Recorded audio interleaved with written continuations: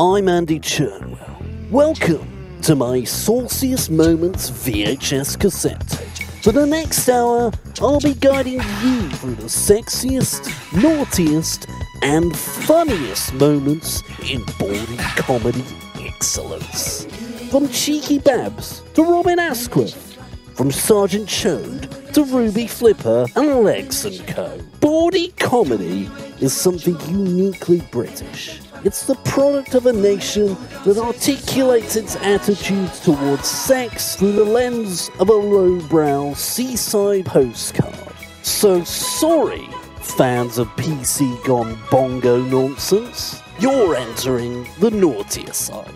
So if you don't like cheeky magic and bouncy boobs that make a foghorn noise, you may as well just leave now before you get offended and have to hide in your safe space. Innuendo, knowing winks, slap and tickle. This is comedy for those of us who like plenty of sauce on our bangers.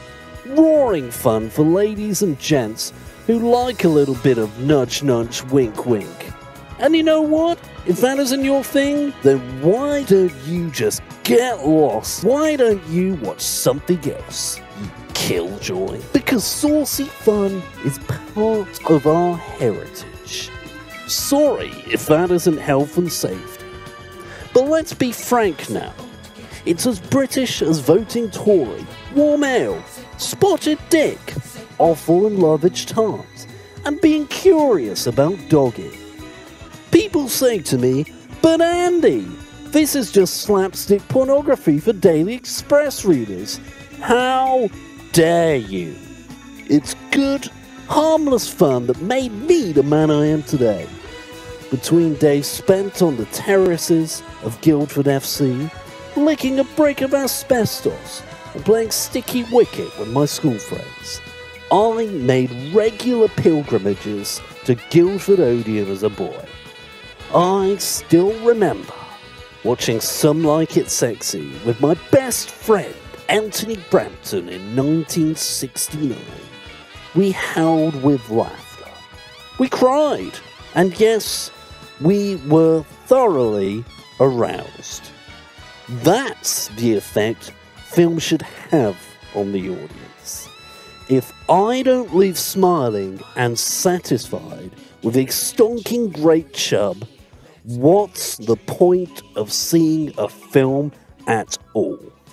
I watched a film, The Avengers, the other day, having mistaken it for the 1960s TV series of the same name, and it was rubbish! I had to berate the young chap on the door for 20 minutes until I was refunded my money and told to leave. I was fuming! I'm not talking about a Matt Hancock situation here. I'm not talking about anxious, bespectacled men gathered round in macs either. This is fun done in the old fashioned British style. Ooh, Hong Kong, Aruba. Shine your fancy, mister. So sit back, relax, and let's unleash the saucy. A treasure trove of bawdy delights awaits. Warning! The following scenes are rated S for saucy. If you are a millennial or of a whiny disposition, look away now.